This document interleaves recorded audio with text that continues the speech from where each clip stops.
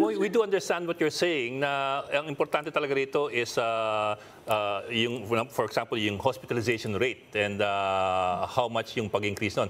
But at the same time uh, uh, if we do see an increase and, and it is a significant increase if that happens uh, uh, from one 1,800 to 18,000. I think 1,800 is now the daily uh, uh, seven-day average. Uh, that's really big. And that, I suppose, would, would mean an increased risk for the vulnerable population uh, who, who, who still are, of course, with us. Uh, uh, kahit hindi tayo kasama doon o hindi kami kasama doon, we are increasing the risk for them.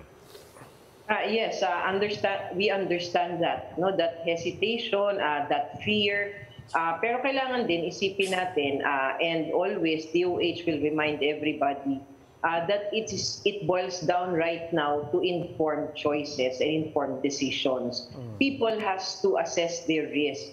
Kailan ba sila dapat magtanggal ng mask? Kailan ba dapat na hindi ka nagtatanggal ng mask? Uh, we have seen the behavior of Filipinos from uh, comparing from the start of the pandemic up until now. Uh, there is already learned behavior for using this mask. So even though during the time that we have uh, implemented the voluntary masking outdoors, we can see almost around 50 to 60 percent of Filipinos still opts to wear their mask even outdoors kahit na nga walang tao, nakamask sila. So we are relying on that and communicating this to them even every day just to remind people uh, that they need to know their risk before they decide if they will remove their mask or not. What about in churches, Yusek? Uh, are you encouraging or required pa rin yung indoor masking?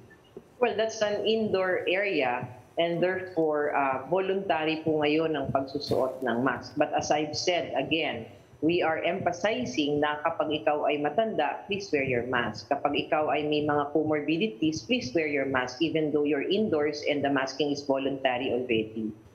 Halabas kaya yung executive order for the indoor masking before UNDAS? Are we expecting that? Wala pa kasi.